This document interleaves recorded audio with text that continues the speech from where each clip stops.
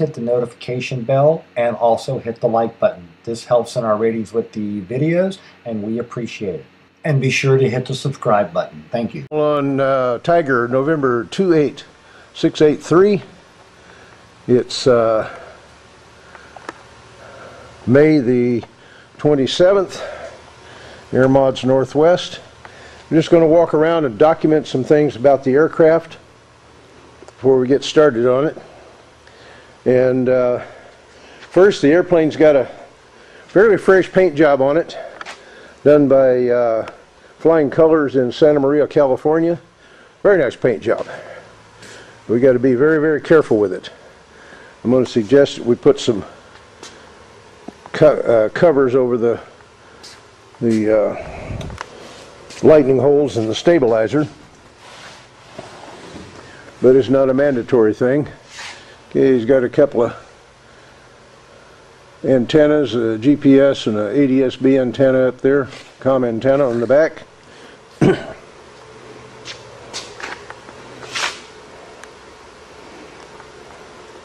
couple of little dingles right there that didn't get fixed before they painted it.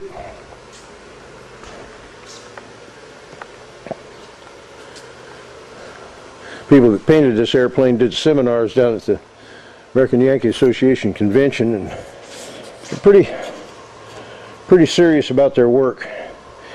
Uh, one, the airplane is horribly out of rig and cable tensions are uh, well see if I can get it to do it.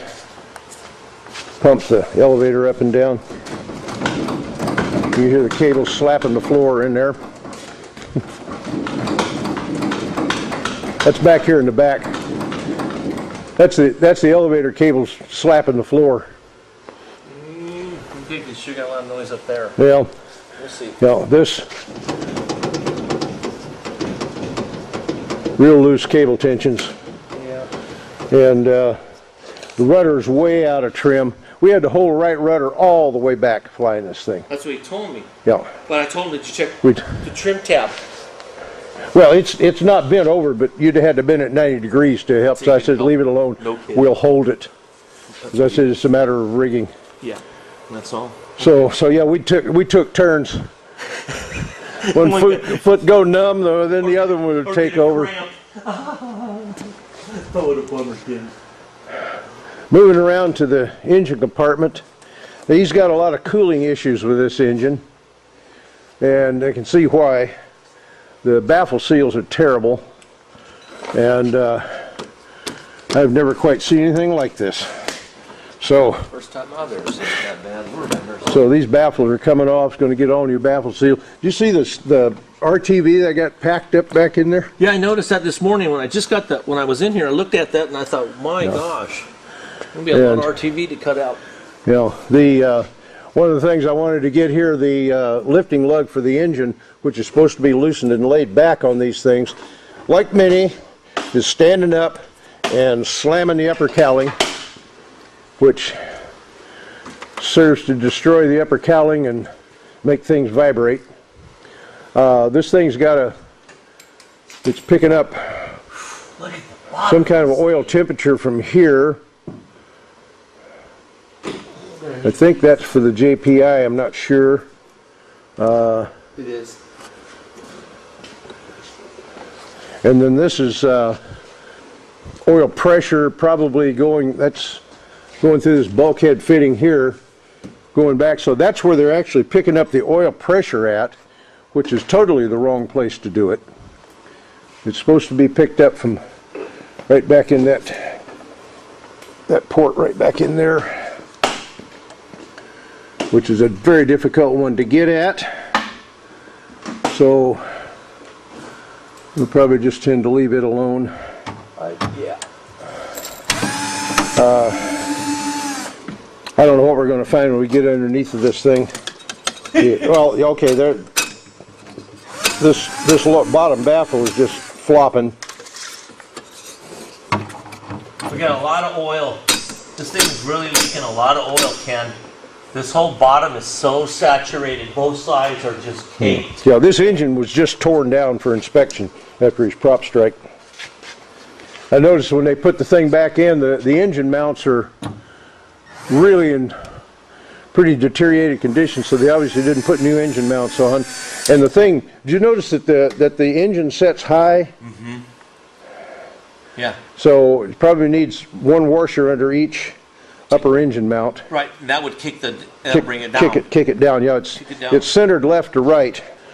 Gear on this thing is totally flopping and loose, we'll have to rebush the, uh, oh yeah, I've, I've seen 14, 15 knots picked up just rigging. Okay. No tension on the, no tension at all. Uh, the Spin- bevel spin. washers might ba- not be correctly installed, but the one thing Kenny was happy was it did have a cotter pin in it when they flew. Spin, spin the nose wheel. Oh. Ooh. Loose. Uh, nose wheel uh, is the tire is good. It feels like it's spinning good, but as far as the fairing goes, Yeah. that is sad. No, I meant as far as rotation, well, if you give it a spin, does it stop? It comes around about a three quarter turn and stops. Okay, that's, that's good then. Okay. Down. Yep. You're good to go. Wow. When you just did that Yeah. with the wear that we have Yeah, in the bushings and the fork, yeah, it went like that. Yeah. Oh, As you put the weight on it, it, it, it went to the low side. So we're going to have wear at the top of the bearing on this side, Yeah. and then wear on the bearing on this side. And these two Well, it'll be, it'll be worn in the front on the Right. bottom, on the back half. on the top. right, from the rocking. Well, yeah, just from the pressure. Wow. And I'm, I'm afraid that nose strut spindle is probably gonna look like the craters of the moon. Rusty. Okay, we're gonna do a kind of a walk around here and document things that we see that, uh, got the abrasion boots on here. And, uh, okay, got a crack here in the, uh, leading edge of this fillet fairing. Now watch up here to the forward edge of the dorsal. We're split Okay, we're all the cracked all the side. way around. That dorsal fin should have been replaced with a fiberglass before it was painted. That's, that's a damn shame to put that much work in a paint job on a plastic dorsal fin that's already busted. Yep. We got a crack in the tail cone, typical place for it, but it's running up through there and that's something we'll have to repair from the inside. Uh, the tail light is not operating, so got to do that. And this, these parts are all available new fiberglass. Corner of this wing walk strip chipped off. These should have been peeled off and painted on or replaced. Looks like they painted over the old original strips. Uh, we're missing the plugs out of the bottom of both steps. Yeah. Shims out here on this end. Yeah, but no lateral play either. Well, yeah, because there's no shims on the other end. There- Yeah. that Those should be split, the difference between toast, busted stop drills. I'm getting a lot of moisture in here, and that's not good for. Well, that, that's, this things are just crazed out. Boots yeah. replaced. He and I just discussed the windshield's got an awful lot of sparklies in it. Getting up here to the engine compartment.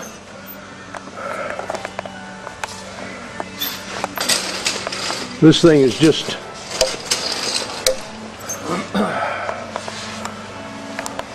lots of problems in here. We got a lot of exhaust leaks. Got a oil cooler bolt falling out. Wiring they got wadded up back here. Think this might have something to do with number three cylinder running hot? Thing's got the stainless hoses here for the oil cooler, but look at the tight of that bend in that thing. Front baffling around here, well all the baffle seals are just horrible. That's just not acceptable. That is just not acceptable. Big gap.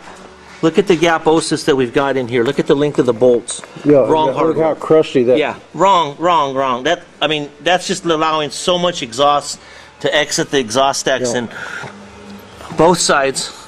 Front one the same way. Front one's the same way on those two. Yeah, see, and that's that's the hot exhaust Melt- gas is coming out and going in Melted here. snake wrap, yeah. Yep, and then so Yeah, this this stuff needs to be gotten away from here and brought back. right and routed And- backward. Try to get it out of there. Well, you, look look at all Look the at that. all the mess. Yeah. You Wore can see, out, too. you can see it wore out, and then they just flipped and put it. Oh, we'll just put it on the outside. Tire wrap on, folks, folks. on metal.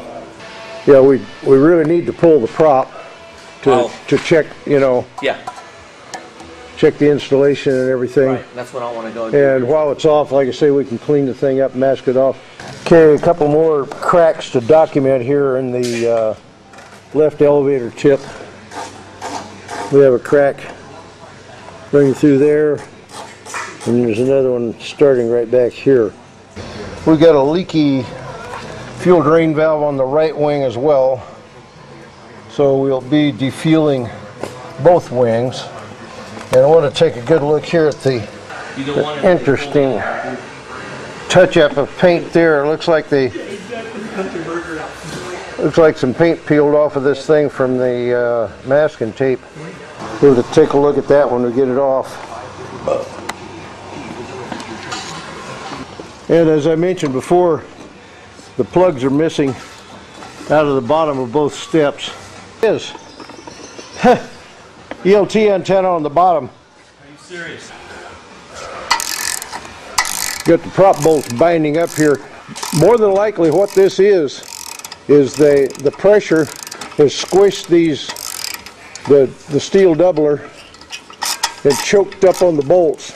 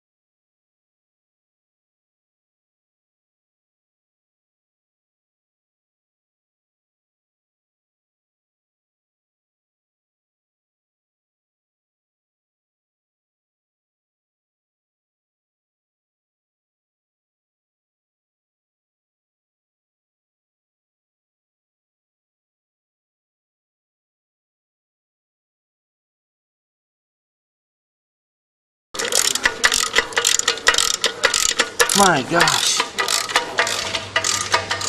He's got to be coming out. Yeah, now you're out. Okay, let's just head over to here, Keith. Oh, shit. Look at the back plates. Oh yeah, she's all punched out. And so you can see what it's done to the bolts, folks. It's really put a big. This has absolutely ruined this set of bolts. Yeah, the CAD plating is all scarred up. These bolts would be rejected in a minute. Uh, feel, feel of the ridging.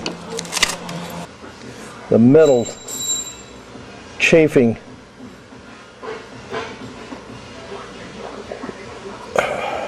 Oh my gosh. We didn't even see the backside of this one.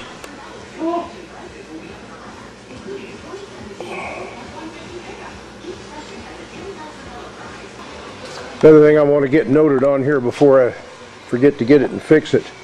Uh, all of this firewall lip should be sticking absolutely 90 degrees forward.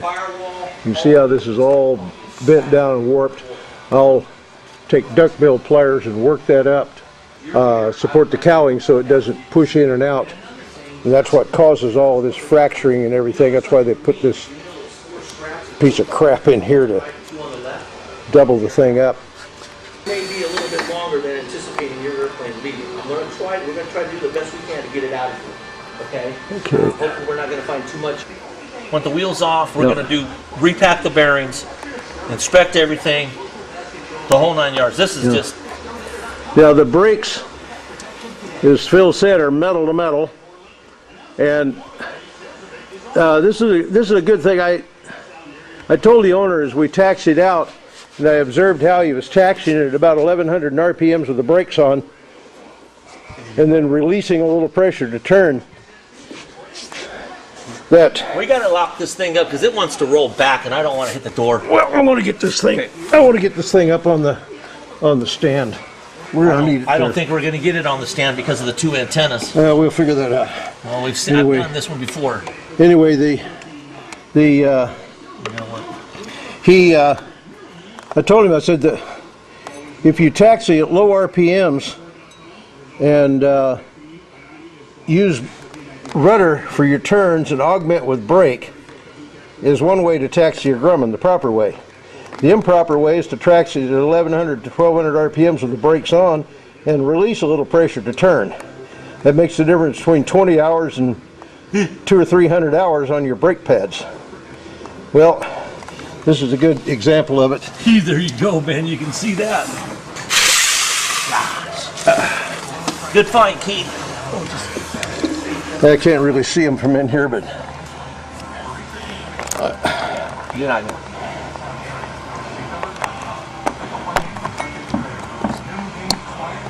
there's just no brake pads there. No brake pads at all. Uh, pull the light away. Okay, just just a little bit of light.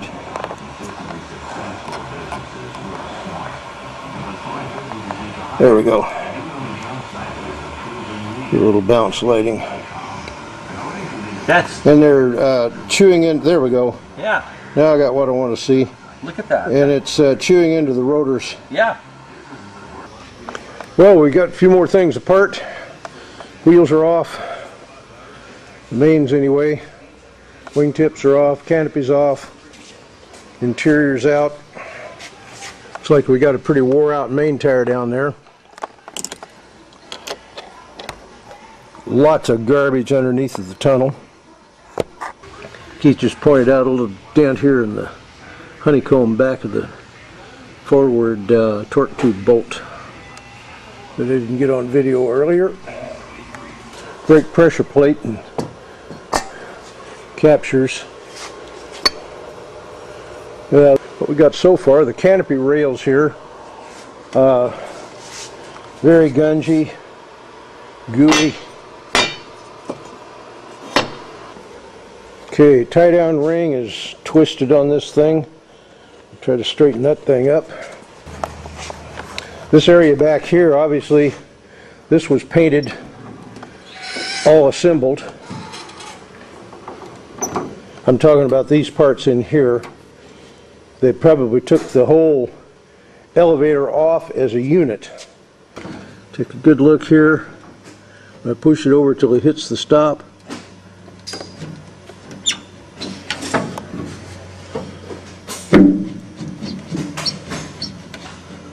See that thing hopping around?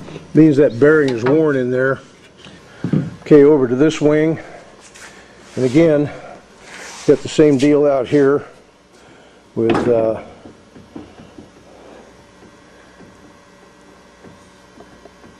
lots of wear. However, it does have a very new looking pitot tube and that's a good thing. These things are rarer than hen's teeth. You can buy them new, and they are thirty-two hundred dollars. That gra- that gasket is flat. Okay, you can go ahead. Okay, here's the uh, um, nose strut out of here, and uh, we got damage underneath the uh, wheel pant. Obviously, this was done when this thing got porpoised. Man, Ohio. look at this.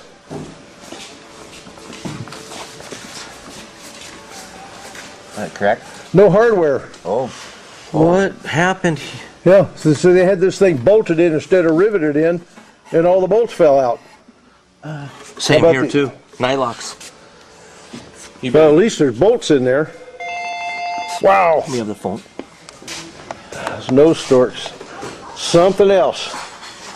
Be interesting to see what the uh, spindle looks like when it comes out. Yeah, we'll know that in a few. Okay, there's that. Okay, so this went like, here was this, this, and these are cupped together so they're not creating a spring tension like this, folks. They were like this, so you can see that way. Incorrect.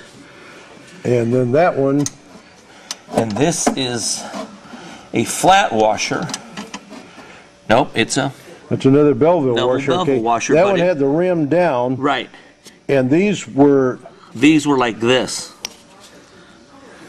So they were just all stacked together. They weren't Correct. They were not put in They a were not spring tension. Spring- tension. Because if okay. it was spring tension, we'd want to put that one that way, right. Yeah, like that. So we got the concaves versus. yeah.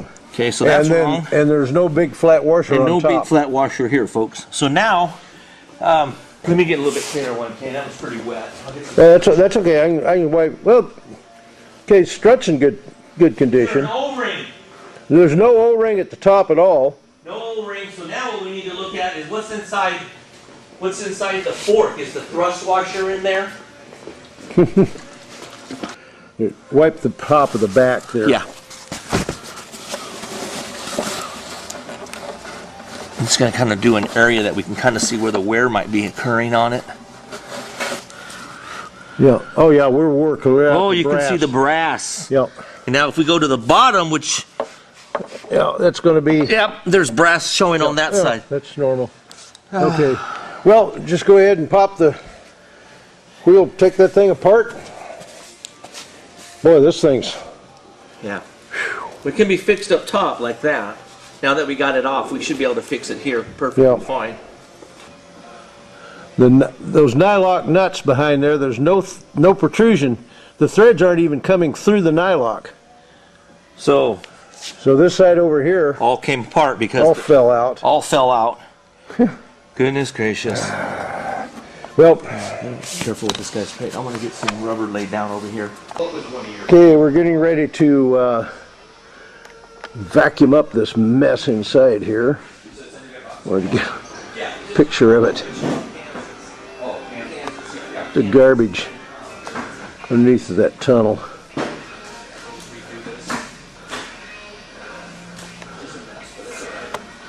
Okay, we're looking at the outboard support or inboard support. Okay, just easy, up and down. Okay, that that flopping in there. Just a minute. Do it again. Okay, that bearing there and that support is worn out. So we're going to have to pull the flap and get at it. Now also, take note that the uh, aileron torque tube is nowhere near centered Okay, but coming through that flap torque is it tube. rubbing on the tube at all? If it's making contact, it's, criti- it's issue. But Uh, It's I don't see any grindings, but but it, we ought to try to try to That's the, that we need to make that adjustment on that plate. Then that's Yes. on the on the flat plate bracket because if you have it one way, it'll ride hard. And if That's- you get that's it right. centered, it'll you just have to loosen Yeah. those two three eighths. we're just just about contacting on the bottom. Still on this aircraft that came out of California. This just came out of a paint shop. And we're recording this because this is definitely a safety of flight issue. Uh, these bolts aren't, e- they're installed, See the light. but uh, the mechanic, whoever installed them, did not tighten these, forgot to do it. Both left and right aileron are like this. Unfortunately to say that, that's really, really not good. This thing here is a good. They've been put on over paint. Um, both ailerons have got these gnarly niches in them where it looks like somebody's grabbed them with a pair of channel locks. The wing straps were put on with these nut clips on the trailing edges. And uh, you see the damage that's been done here to the aileron from a little bit of pressure on the thing pushing up. Okay, we got issues here that I want to document. It's all right. Um, Get out of your way. the alternator wires. Put this thing on night shot, see if I can get. There we go. Turn it green. Okay. This is the ground. Now these are the two shields coming off of the alternator wires here that were brought to this little on here. Butt connector. And that was pulled out from that, broken off. And we just reached it over and went ahead to get a hold of this. This is a, one of the main alternator leads. Just broke right off there. So we got to do some repairs on this. This, this is very interesting. Well, this is the way I'm going to leave it. God, this is the way I'm going to leave it. Cylinders are off. New ones are coming from Lycon. Four ported and flowed. Factory fresh new ones. Got the baffling to redo. Straps to put on the wings. New uh, plastic underneath of them. Got all the parts laid out over here. IA is going to be in to uh, inspect all these things and help Phil put it back together. And there's the four rejected cylinders there. Well, that's how you take an hour and a half video and bring it down to 25 minutes and show 123 things we found wrong on an airplane. We hope you found it useful and informative. Thanks for watching and have a great day flying your Grumman.